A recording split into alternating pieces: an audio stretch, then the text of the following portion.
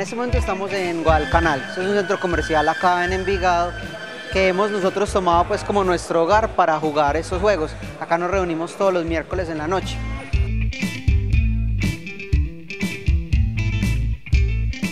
A la hora de hacer esto, vos tenés como un juego que es tangible, algo que podemos tocar. Tenemos cartas, tenemos fichas, tenemos personas con las que compartimos una cerveza o tomamos algo. Entonces como volver a eso, volver a tener esa interacción social, porque pues a la hora de la verdad nuestros trabajos nos, nos, nos dejan muy poco tiempo para hacer estas cosas. Existen juegos en los cuales vos simplemente tenés una familia que debe sobrevivir y esta familia eh, pues ara la tierra, ellos crían animales eh, y vos vas creciendo. Existen juegos en ciudades sobre administrar bienes, sobre administrar propiedad raíz. Eh, este es un juego en el que simplemente estamos adivinando números de cartas. Sea, la mecánica de este juego en realidad es muy sencilla, pero visualmente es complejo.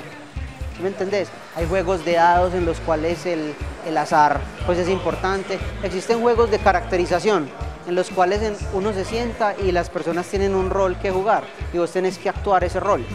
Entonces en esos juegos no hay dados, en esos juegos no hay azar, no hay nada, sino que uno como jugador pues tiene habilidades para, para engañar, para mentir, para, para jugar con los demás de esa forma.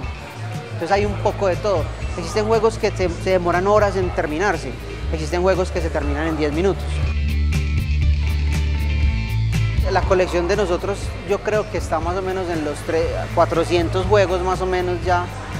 Sí, yo creo que nosotros de ahí para arriba tenemos muchísimos más y ninguno de esos juegos son juegos tradicionales por decirlo así. O sea, nosotros no contamos Monopolio ni nada de eso.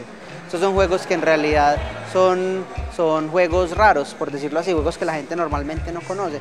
Pero muchas de esas mecánicas vienen de ahí. Lo que pasa es que lo que hace estos juegos muy disfrutables es que el, el factor del azar se elimina mucho. Ya hay muchas estrategias, muchas cosas que vos puedes hacer y eso es lo que nos atrae pues a ellos pero en cuanto a variedad de juegos, yo llevo dos años ya, en noviembre cumplimos dos años de estar jugando y es rara la vez que yo repito un juego. Y existen pocos juegos que he jugado más de dos o tres veces. Lo que pasa es que visualmente ellos son muy llamativos y muy complejos, pero cuando analizas en realidad lo que el juego es, son extremadamente simples.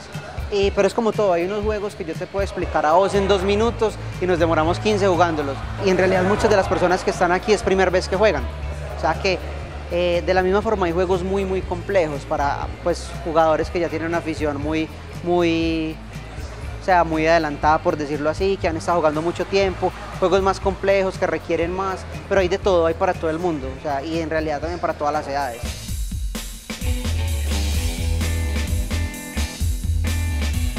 Nosotros como personas humanas siempre como que añoramos ese contacto. Muchos de estos juegos, yo diría la gran mayoría de estos juegos tienen su versión digital.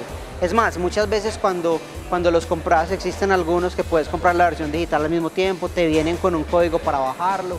Para nosotros, nosotros lo que, lo que hemos encontrado es que, es que el sentarse acá en una mesa, al ver la gente cara a cara, le, le añade al juego otro, otro aspecto que tal vez no se tiene en cuenta cuando uno está jugando online. Yo puedo jugar un juego con vos y no te estoy viendo, no me estoy riendo, no estoy viendo tus caras.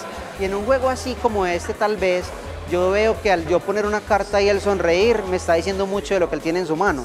Y de la misma forma, pues al verle la confusión a ella cuando yo estoy moviendo las fichas.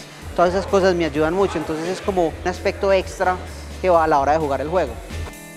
Nosotros tenemos un grupo en Facebook muy activo, o sea, constantemente tenemos muchos miembros y constantemente hay gente hablando y todo eso y siempre es una invitación abierta, o sea, cualquier persona o incluso los que están viendo esto y quieran venir, eh, son bienvenidos. Nosotros siempre traemos amigos nuevos, gente nueva, muchas veces se unen al club, empiezan a comprar sus juegos, empiezan a aumentar pues toda esta ficción que nosotros tenemos y pues es una comunidad muy chévere porque pues hay mucha amistad, hay mucha camaradería, es muy bacano. Entre más personas vengan es mejor para nosotros.